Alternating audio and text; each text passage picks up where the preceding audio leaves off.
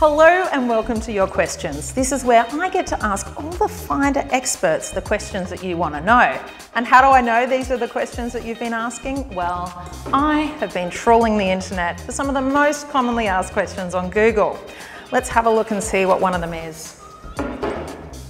This one is on Chromecast. In fact, how to set up Chromecast. Hmm, who do I know? Chris, you're our Finder Tech expert. I'm ready to ask you about Chromecast.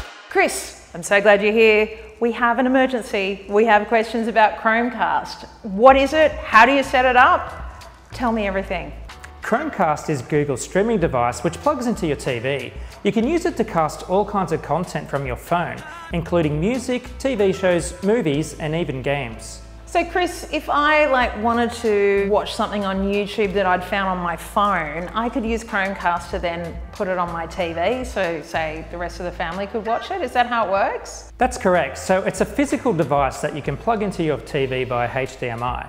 You can buy it from online stores like the Google Store, or you can also get it from most major Australian retailers, including JB Hi-Fi. And once you've got it connected, you can then use the Google Home app to access any content that you have on your phone. That includes things like YouTube and um, games, like I mentioned before. Is there a cost to using Chromecast? Do you buy it from the app or Google Play Store, for example, or subscribe to it? How does it work? So what you first need to do is download the Google Home app. And once that is installed on your phone, you can just go to like your YouTube app like you normally would, and there'll be a little cast symbol up the top. All you have to do is press on that and it'll instantly cast to the connected TV. There's no cost involved with the Google Home app, but you do have to pay for certain apps that you use to cast, so for instance, YouTube Premium. So Chris, there's so many different ways of watching content now, and this seems like just yet another thing to, to add to people's arsenal of streaming and TV. What, what do most people use a, a Chromecast for? So the main advantage of Google Chromecast is that anything you have on your phone which supports casting, you can immediately send to your TV. So that could be like videos you've captured yourself, it can be uh, YouTube videos that you want to share on a bigger screen, even photos that you have on your phone. It also supports uh, select video games. So instead of playing it on a little phone, you can play it on a large screen TV. When it comes to setting up Google Chromecast, you mentioned you have to buy the device, um, sign up for an account, download the app. Is there anything else people need to know? No, setting up Chromecast is pretty simple. Like you just plug it in and then it'll automatically have the prompts come up on your TV screen. And then you just use the Google Home app on your phone to follow the commands.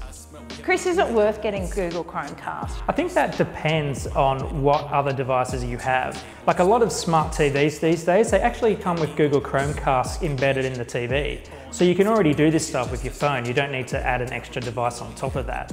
But if you have a bit of an older TV or it doesn't support Google Chromecast, then it's a great way to get your content from your phone onto your TV.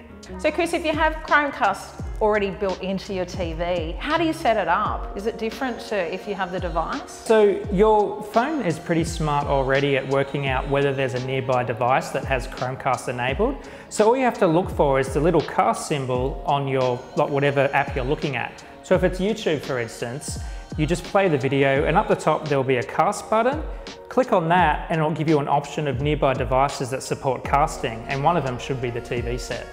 Chris, if you have one thing you could say about Google Chromecast to people watching, what would it be? My one piece of advice would be, if you have a phone, which I'm sure you do, it's definitely worth getting Google Chromecast. Whether that's a device that plugs into your TV or a TV that already has the application built in. It's a great application.